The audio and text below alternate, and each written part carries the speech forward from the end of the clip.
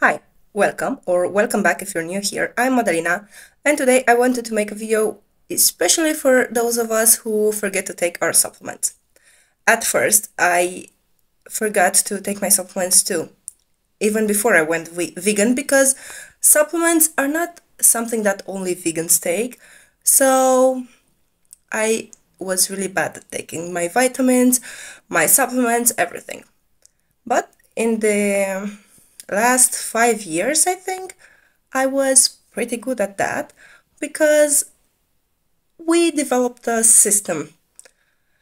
First of all, I usually had an alarm for my vitamins, minerals, everything, and then we have a little box, a pill box.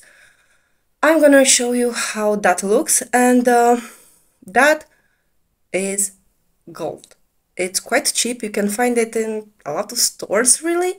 And it's awesome for us because we can have it somewhere we, we can see it every day and it's for the whole week. So once a week, we put all the supplements we take in every slot, then every day take our supplements.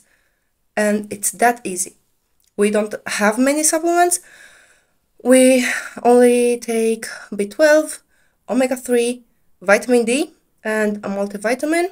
And that's just a really low dose for the multivitamin, but we don't eat perfect every day and nobody eats a perfect diet every day, so it's quite perfect for us.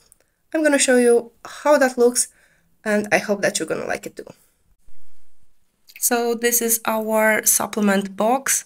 As you can see, it's really simple.